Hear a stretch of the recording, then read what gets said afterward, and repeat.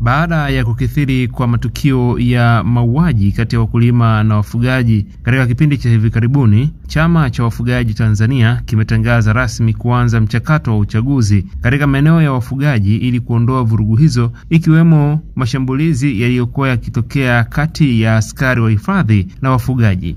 Taarifa ya mchakato huo imetolewa jijini Dodoma katika ofisi za makao makuu ya chama hicho na Chazi Malangwa ambaye ni mwenyekiti wa tume ya uchaguzi ya Chama cha Wafugaji Tanzania. Katika kipindi hiki cha miezi sita kulikuwa kuna mapigano mengi sana siku za nyuma, lakini sasa hivi imepungua kwa asilimia kubwa sana, ingawa sasa kumekuwa na tatizo tena jingine la baadhi ya maaskari wetu wa uhifadhi ambao sio waaminifu kwenye maeneo kwa mfano kama kule Mbalali na maeneo mengine ambayo yako kwenye kando kando ya hifadhi.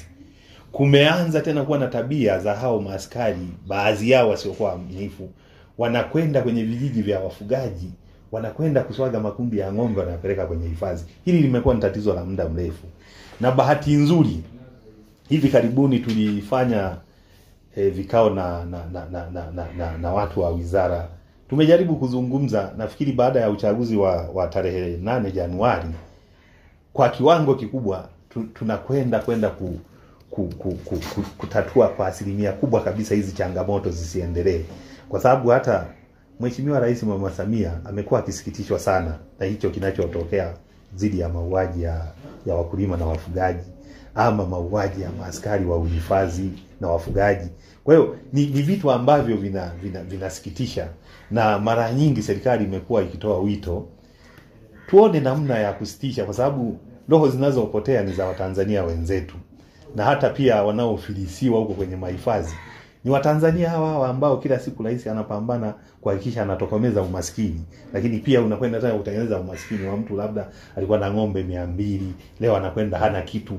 Kwa ni vitu ambavyo vinaisikitisha hata serikali na hata sisi kama chama ambao tunazima ya kuwasaidia wafugaji, mambo mengi yanatusikitisha. Kwa hiyo tunaamini kabisa kwamba baada ya uchaguzi huu yako mambo mazuri ambayo yanakwenda kutokea, kwa sababu sisi tunachotaka ama chama ambavyo kina kinataka kinasikitishwa sana na na, na, na taarifa za za migogoro, baadaye migogoro hiyo inachukua maisha ya, ya, ya wafugaji ama ya wakulima. Tunataka tutoke huko twende kwenye, kwenye chama ambacho kitaona ni fahari kuwa na, na, na, na wafugaji na hata wakulima wajivunie kuwa na wafugaji, kwa sababu wa, wafugaji ndio wanaoleta nyama kwa wakulima, wanapeleka ma, maziwa kwa wakulima. Kwa hiyo tunataka tu, tuwe watu ambao tutaishi kwa amani. Mfano mzuri unaweza ukaona maeneo, mfano mimi ambako natoka kanda ya Ziwa. Kanda ya Ziwa hatuna migogoro mikubwa sana inayopelekea kuchukua maisha ya watu. Kwa hiyo tumejipanga na yameainishwa maeneo hayo kwa ukamilifu mzuri na chama. Kwa hiyo mi naamini kwa ngazi hizo tutakuwa tuko vizuri. Mchakato wa uchaguzi katika ngazi ya vijiji utaanza Novemba 20 mwaka 2023 hadi Desemba mwaka 2023. Uchaguzi kwa ngazi ya wilaya unatarajiwa kuanza Desemba 5 hadi 10 mwaka 2023. Kanda ni Januari 4 mwaka 2024, na ngazi ya taifa uchaguzi mkuu utakuwa ni tarehe 8 Januari mwaka 2024.